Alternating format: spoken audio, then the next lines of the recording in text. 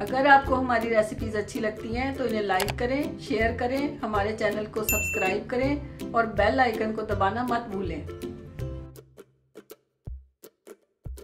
वालेकुम। Hi everyone and बेनवेनुतन Italian dhaba सर्दी बहुत ज़्यादा है, बाहर बारिश हो रही है। मैं अपने लिए तंदूरी चाय बनाने जा रही थी। सोचा आपसे भी रेसिपी शेयर कर लूँ। ये एक मिट्टी का बर्तन है। आम जो मिट्टी के बर्तनों की दुकानें होती हैं, वहाँ से मिल जाता है। इसको मैंने लिया इसको मैंने अच्छे से धोया और खुश कर लिया है। एक साइड पे हम इसको गर्म करेंगे, इसे खूब गर्म होना चाहिए। और दूसरी साइड पर हम चाय बनाएँगे। चाय बनाने के लिए हम एक बर्तन लेंगे और इसके अंदर हम दो कप चाय बना रहे हैं तो दो कप दूध डालेंगे। हमारा जो दूध है वो घर का है, इसलिए मैं इसमें आधा कप पानी भी डालूँगी। अगर आपका बाज़ार का दूध हो तो आप ढाई कप दूध ही लें। वो तो वैसे ही इतना पतला होता है। और इसके साथ हम इसमें डालेंगे चार पाँच अदरक के टुकड़े।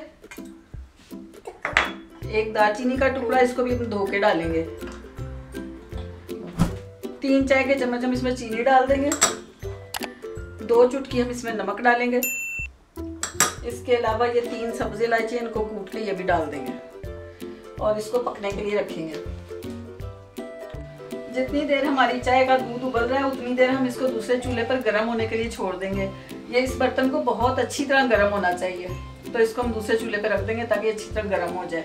और इधर दूध के अंदर जब इसको उबाल आने के वाला होगा तो हम इसके अंदर दो चाय के चम्मच भरकर पत्ती के डाल देंगे।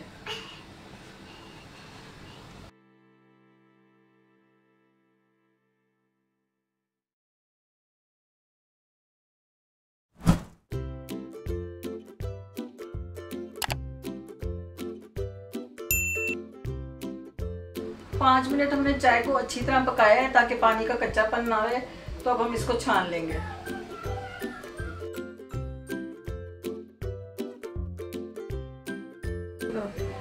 मिट्टी के बर्तन को हमने अच्छे से घुमा घुमा के खूब गर्म कर लिया है। अब हम इसको एक बर्तन में रखेंगे, थोड़े से बड़े बर्तन में रखेंगे, ताकि जब हम इसमें चाय डालें तो वो उछल कर बाहर ना आए। ऐसे। अब इस गरम गरम बर्तन में हम ये गरम गरम चाय डाल देंगे।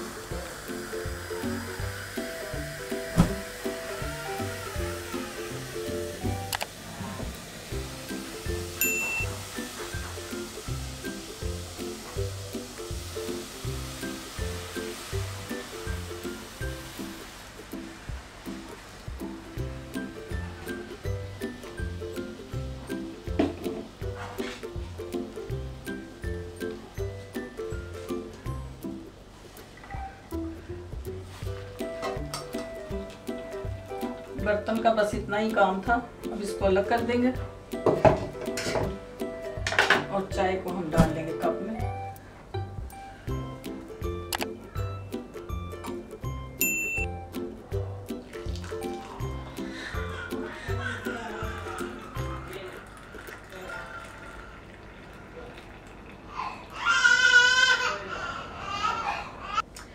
गर्मा गर्म धुआँ उड़ाती तंदूरी चाय बनकर तैयार है। इसमें मिट्टी की खुशबू के साथ साथ दालचीनी और इलायची की भी बड़े मज़े की खुशबू आ रही है।